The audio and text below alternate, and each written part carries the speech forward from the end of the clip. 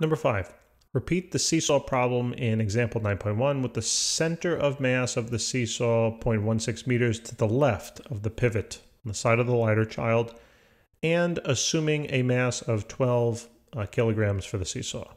Okay, so here's the example 9.1, and it tells us that the first child has a mass of 26 kilograms, uh, and he sits 1.6 meters from the pivot point, which is located there. Second child has a mass of uh, 32 uh, kilograms right here, and we're trying to find out how far is she from the pivot point. So we're trying to find that x distance, okay? So basically, first thing is you got to set up a coordinate system. All right. Now remember, always uh, set up the coordinate system with the origin of the coordinate system at the axis of rotation. So basically, in terms of this picture, let me try to align that a little better. In terms of this picture, the axis is going to look just like that. All right. What I'm going to do is I'm going to start drawing that down here. Okay. Now let's draw in all of the forces and their associated torques. So first, let's talk about the uh, first child. Okay. So he is located at a certain distance from the origin. I'm going to detail that in my coordinate system here in red. Okay, uh, that distance is going to be called r sub 1, and it is uh, 1.60 meters. Right, he is applying a certain force at that particular location. Right, let's just calculate it right off the bat. Um, right, he has a, a mass, as they told us, 26 kilograms. So all I have to do is take the 26 kilograms, multiply it by 9.8, and it comes out to be uh, 254.8. So 254.8, and that's newtons. Okay, now same thing for the uh, second child. She is located a certain distance, right? Her center of mass is located a certain distance um, from the uh, fulcrum. So I'm going to write that in my, or draw that in my uh, coordinate system here. So that is what is unknown, right? That's actually what they're asking us to calculate. Okay. Um, and we she also has a uh, certain mass, right? So therefore she's applying a, a force. We'll call that F sub 2. And they told us that her mass is 32 kilograms according to the problem. So therefore it's 32 times 9.8. So this is 313.6. So 313.6, and that's in terms of Newton. Now there's a third component to this problem, and they tell us now that we have to include the uh, mass, right? Look back up at the problem, the center of mass uh, for the seesaw.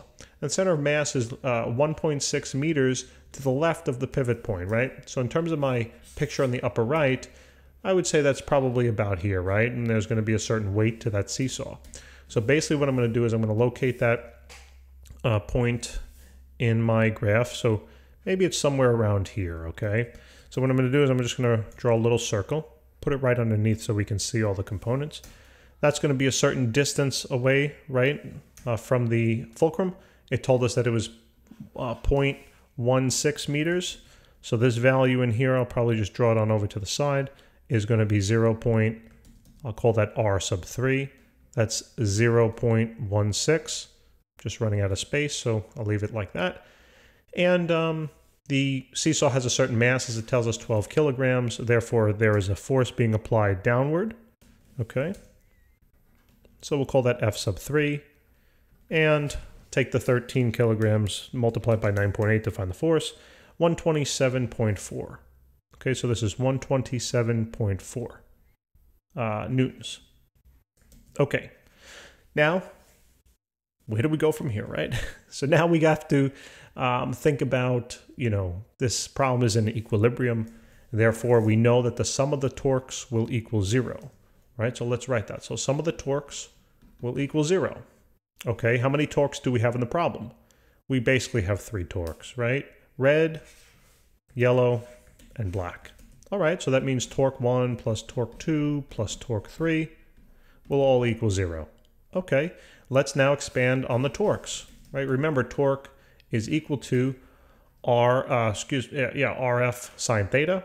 Remember, theta is the angle between the lever arm and the force. Notice how in the picture, if you go back to the picture over here, notice how they're all 90 degrees. So sine of 90 is 1. I'm not going to write it in just to simplify it, all right? Um, so let's do R sub 1, F sub 1, plus R sub 2, F sub 2, plus R sub 3, F sub 3 will all equal 0. Now, what are we asked to find? Well, we're asked to find r sub 2, right? So this is what I'm after. So solve the equation for that variable. Subtract these guys on over to the right-hand side, and then divide it out by f sub 2. Okay, so we should get this. R sub 2 times f sub 2 will equal negative r sub 1, f sub 1, plus r sub 3, f sub 3. And then, like I said, just divide out this side by f sub 2 and divide that side out by f sub 2. Okay, divide out that side by f sub 2. So notice that on this side, the f sub 2's would cancel. I'm just going to erase it. And we're left with r sub 2. So guess what? All we have to do now is plug in our values. Whoops. All we have to do is now plug in the values into that equation. Okay, make that a little nicer. There we go. So we know everything now. So negative. What's r sub 1?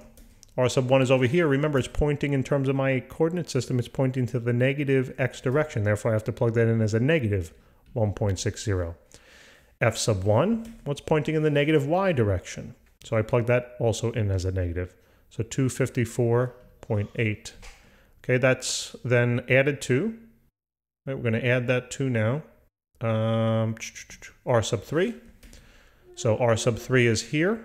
Oops, r sub 3 is, is this black lever arm, right? That's also pointing to the left, and therefore that's negative 0.16 multiplied by the force, and that's also pointing in the negative y direction, so that's 1 point, not 1 point, sorry, 127.4. And then finally now, let me just move these brackets a little bit.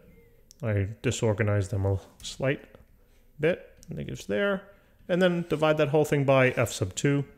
So f sub 2 is again negative. As you can see, we have a ton of negative signs in here. Um, not a big deal though. So this is going to be negative 313.6. Okay, now all you got to do is just throw it into the calculator. So r sub 2, let's see. Now, sometimes I like to work without the signs, right? I'll just think about what the sign should be. You know, this, this term would be positive. This term would be negative, so I do a subtraction, and then I'm going to carry the negative sign on over. All right? So so basically, so negative 1.6 times negative 254.8, right? And then minus a 0.16 times 127.4.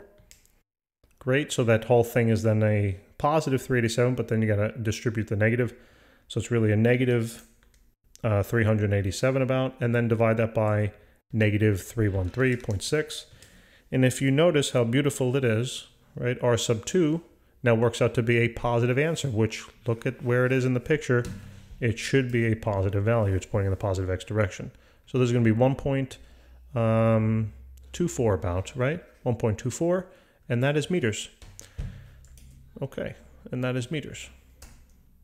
So now, just by, since there is an, you know, if you think about the answer to the prior problem, she had to have been further away from the uh, fulcrum point. But now since there's an added torque on this side, she can move her mass essentially closer. All right, so that does make sense. And then that's it for letter A. And then how about for uh, letter B now? Where am I going to put B? You know what I'm going to do? I'm just going to move this on over, put this bottom there. Let's do B up here. Um, what is F sub P? Right, the supporting force exerted um, by the pivot. So let's just do this one simply. The sum of the forces in this problem, since it's static, also has to equal zero. Right, there's going to be four forces that are present. Um, in terms of this diagram, I was just diagramming the um, torques, but there's another force here. I, I could have, I sh probably should have drawn it in, but it won't change the answer at all. But there is another force here, okay, located up, and that's called F sub P, right? But notice it's literally located at the point of rotation, so its lever arm is zero.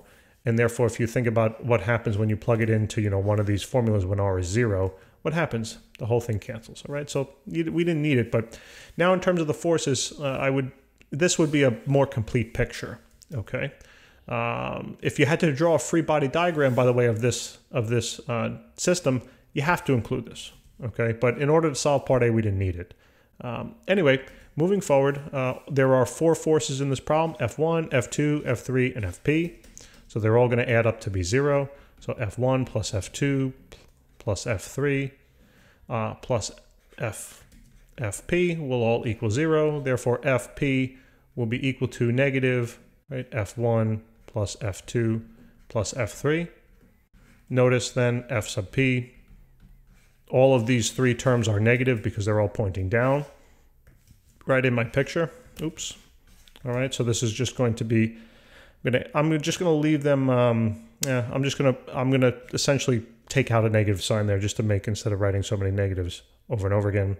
Actually, you know what? That might be more confusing. So let's just write negative uh, 254 uh, minus then f sub 2, which is uh, 313.313.6, and then minus again the f sub 3, which is 127.4. So add those all together, negate the sign, and we'll get the answer.